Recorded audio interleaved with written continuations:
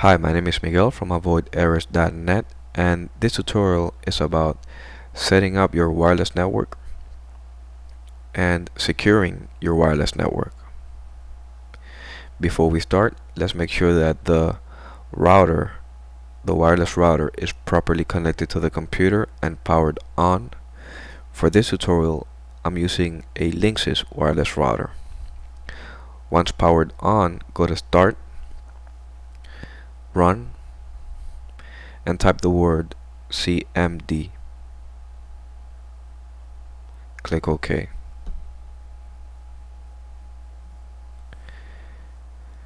In the command prompt, type the word ipconfig and click enter.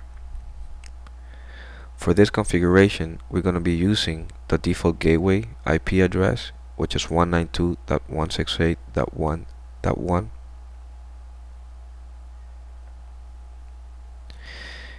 and we're gonna place it in the address bar. So in the address bar type the word 192.168.1.1 and click enter.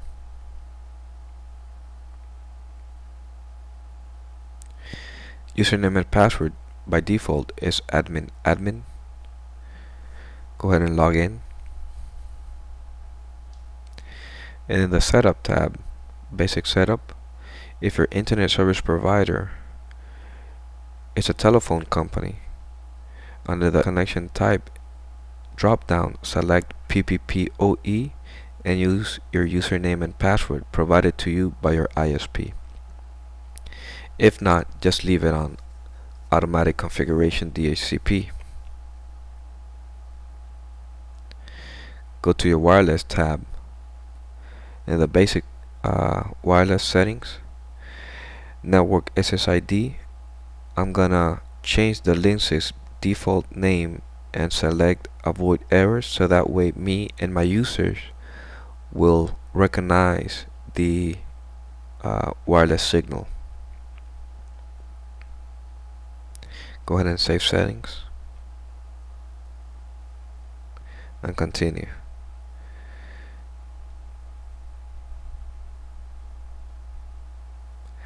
now I'm gonna go to the wireless security tab and I'm, I'm gonna select WEP. Now on the passphrase uh, I already have it pre-configured but you can choose your uh, passphrase and click generate and the key that generates is your univers universal key for your wireless uh, computers go ahead and save the settings. Continue. And that's it. Your wireless network is uh, configured.